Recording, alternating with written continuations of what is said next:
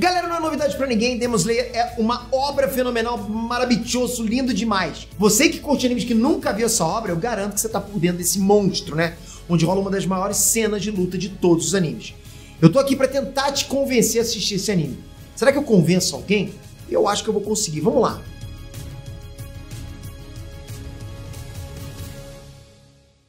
Filmes, séries, entrevistas, convenções, vazamentos, tudo em inglês. E você vai depender de legenda improvisada até quando, galera? Tem muita coisa rolando agora pelo mundo do entretenimento. E você tá de fora, vendo tudo depois ou até se virando com legenda zoada. Fala sério. Pra acabar logo com esse perrengue, tá na hora de você aprender inglês com a English Fish, uma escola que vai te ajudar a virar essa página de vez na tua vida. A English Fish tem um curso de inglês super dinâmico e muito acessível de verdade, galera. Chega de sofrer para aprender com aula chata, pô. Tem planos a partir de R$19,90 por mês, menos de um real por dia. E alguns planos você ainda vai ter chat de conversação ao vivo com o teu professor para turbinar teu aprendizado, como ele tem que ser. Tem que ser turbinado. Esse é o curso mais em conta que você vai encontrar no mercado. E como eu quero você que tá aí agora aprendendo inglês logo, presta atenção, tá? Eu consegui para você o primeiro mês grátis. É só você se inscrever e mandar brasa sem pagar nada por 30 dias. Aproveita o presente Clica agora no link que tá na descrição. Renestran Spectre aqui. Kimetsu no Yaiba. É difícil, até, até hoje eu, eu me atrapalho. Porque eu falo Kimetsu no Yaiba, mas tá errado, né? Yaiba. Mas Kimetsu no Yaiba ou Demon Slayer, seja o nome que você fale aí, tá? Esse anime é igualmente casca grossa. É, é, é muito bom. É um anime que explodiu em popularidade, nem tinha uma, uma hype tão grande, né? Tipo, a hype tava um pouquinho baixo. Muita gente, por exemplo, já ouviu falar de The Promised Neverland, um anime que eu já falei aqui no canal algumas vezes. Uma obra fenomenal, repleta de hype que teve alguns problemas na adaptação para TV. Demon Slayer criou expectativa, mas não beirou nada além de olha, esse anime parece bonzinho, né? Muita gente achou que foi tipo um animezinho normal. Quem assistiu isso, ok? Viu em pouco tempo que não é um anime bonzinho. É algo bom, bonzão. Existe bonzão? Enfim, é bom pra caramba. E o que que tem de bom no moleque passando a espada num bando de demônio? Vamos conversar sobre isso agora. Manda um like. Você que já viu, que tá aqui pra ver minha opinião, manda um like pra galera perceber. Porra, esse anime é bom pra caramba. Porque quando você dá like, a galera percebe também. É lógico eu tô mandando um migué pra ter like. Mas é bom, é bom. Isso é verdade, ok? É bom porque bota mais esse anime na, na galera. A gente cria hype. Quantos animes a gente já trouxe pro hype aqui com esse canal? Então, ajuda a gente a trazer esse hype pra cá. Pra... Vai voltar o anime, né, porra? Então, com esse teu like aqui, a gente pode trazer análise pra cá. Você precisa levantar esse hype. Tamo junto, sempre nessa jornada. Vamos lá. Galera, quando a gente fala né, em anime shonen, a gente tá acostumado com o famoso pão com manteiga, né? Protagonista fraco, aprende a lutar, vai ficando mais e mais forte até chegar no objetivo. Isso realmente é o clichêzão. É simples de entender. Eu posso, quando eu falei sobre o moleque passando espada em demônio, eu chamei a tua atenção. Afinal, shonen não precisa de uma explicação bem bolada pra rolar briga. Só que um dos pontos que eu considero altíssimo em Demon Slayer é esse aqui. Um, cada luta tem uma função na história. E o que, que isso quer dizer? Eu tô falando do que cada batalha nova traz de novidade para a obra inteira. E falando sério, não existe uma batalha que não ensina alguma coisa nova. Sabe, mostrando o talento do Tanjiro, o estilo de luta dele, os poderes dos inimigos que vão subindo com o decorrer dos episódios, outros personagens com outros poderes e por aí vai. Você já sentiu que viu um anime shonen onde boa parte das lutas parece tipo uma batalha espelhada, né? Os dois que estão lutando têm a mesma capacidade, mesmas habilidades, tipo Dragon Ball, onde geral solta aqui, né? Onde geral solta aqui e voa. Em Demon Slayer, cada personagem tem um estilo de luta único.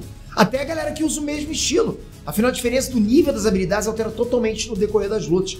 E, sinceramente, é sensacional ver isso em ação. É só olhar o Tanjiro, que é um novato lá, o Tomioka, o mestre dele nas lutas dele.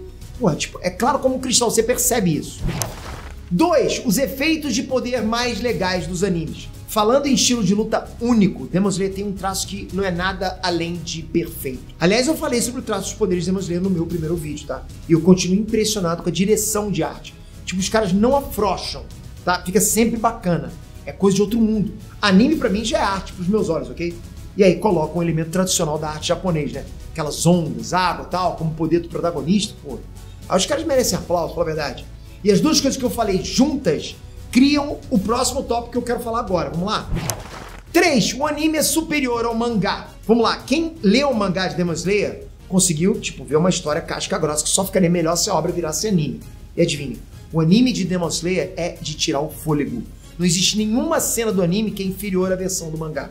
Justamente por quê? Pelo anime ter sido feito com muita atenção nos detalhes. O anime ser melhor que o mangá é o sonho de todo otaku ver a obra do papel sendo, sabe, superada por uma experiência mais completa com cenas, dublagem, áudio, movimento, trilha sonora. Porra, sabe, a, a, a trilha sonora de Demon Slayer é absolutamente boa. Eu falei sobre The Promised Neverland antes e quem conhece sabe que rolou uma repercussão sobre a versão do anime.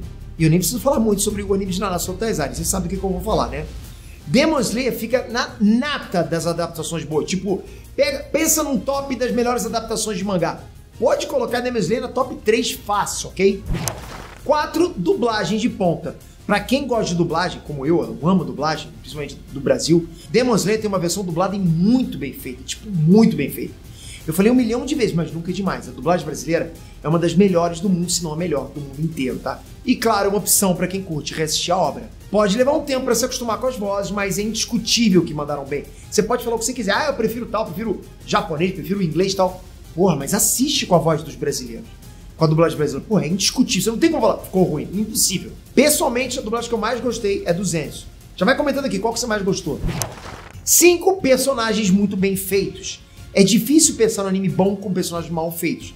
E Demon Slayer carrega uma gama, uma variedade gigantesca de personagens bacanas, legais demais. A galera que a gente mais acompanha é a do Tanjiro, o protagonista bondoso com olfato apurado, né? Nesco, a irmã demônio do Tanjiro, Zenitsu, medroso lá a audição boa, e o Inosuke, um moleque irritado com a cabeça de javali. Galera, é bacana demais ver eles interagindo juntos, cada um reagindo a uma situação. Um quer quebrar tudo, o outro quer fugir, alguém fica dormindo no meio da conversa. A interação deles é muito boa, a química deles é, é tipo, é ótima, sabe? E tipo, fica muito bom pra comédia. Você percebe, não fica forçado, tá? Inclusive, fica bom também para dar mais impacto quando eles trabalham juntos nas missões. Porque você sabe, você, tá, você, você vira tipo meio que o íntimo deles, né? Parece que você tá ali junto com eles, você se diverte pra caramba. E além deles, a gente conhece também diversos outros personagens na obra: inimigos de episódio, aliados, o vilão principal, os nove Hashiras. E sinceramente, não teve nenhum personagem que eu não gostei. Ou que foi inútil incluir. É tudo muito bem construído, muito bem feito. 6. A obra tem um dos melhores filmes de anime. Quando eu vi que o próximo arco de Demon Slayer ia ser adaptado em filme, tá? Eu fui direto pro mangá. E mesmo assim eu fiquei surpreso com o filme. São poucos os animes hoje, galera, que tem uma qualidade alta no anime e no filme. E Demon Slayer entra nessa lista. Galera, na boa, os efeitos especiais são sensacionais. Eu tô falando tanto sobre efeitos porque realmente é de outro patamar. Tá em outro patamar. E no filme conseguiram trazer efeitos novos, mais energia, mais hype. Trilha sonora. A trilha sonora do filme é de tirar você da cadeira. Os últimos 15 minutos é porrada da boa, muito maneiro. Pô, com a trilha rolando, nossa, cara, tu fica realmente. Que a trilha faz você pular da cadeira, né? Então é bom pra caramba isso. Eu vou falar para vocês, agora no contexto geral, ok, galera? É, esse anime, Demon Slayer, é, uma, é algo. É tipo aquele anime que você realmente pega no tranco também. De repente você pode não se apaixonar no primeiro ou segundo episódio, mas vai assistindo, depois você vai me agradecer. A animação é sensacional. Se você não gosta de anime que, pô, não tem animação boa, sensacional. História é sensacional. As superações são sensacionais. O anime é lindo. É, é tipo, é essa palavra que eu tenho pra descrever, é maravilhoso. É muito bacana, você tem que assistir esse anime. Depois você volta aqui. Aliás, se você já assistiu, já vai comentando aqui. E não esquece, o link tá aqui embaixo para você estudar por 30 dias grátis na English Fish. Não deixe essa chance passar. Tô de olho, hein? Obrigado por mais esse vídeo. Não esquece, vou ter aqui embaixo o link do IBEST para você me ajudar, porque é importante mais pra gente que você ajude a gente nessa votação. Vocês já colocaram a gente no top 3, tanto no meu canal Nerd Negócios quanto no Inet. Se a gente conseguir ganhar, galera, nem sei o que eu faço. Acho que eu vou soltar a pipa cantando o hino do Canadá de fio dental. Eu não sei, eu tô muito feliz com isso. Obrigado de coração. Se inscreve aqui agora, ativa o sininho, tamo junto sempre. Eu não pago. Já parou pra pensar quantas palavras eu falo por dia só com esses vídeos aqui? Porra, rapaz, fica até com calo, mas eu faço por vocês, é bom demais. Tamo junto, espero vocês no próximo vídeo. Galera, obrigado. Fui!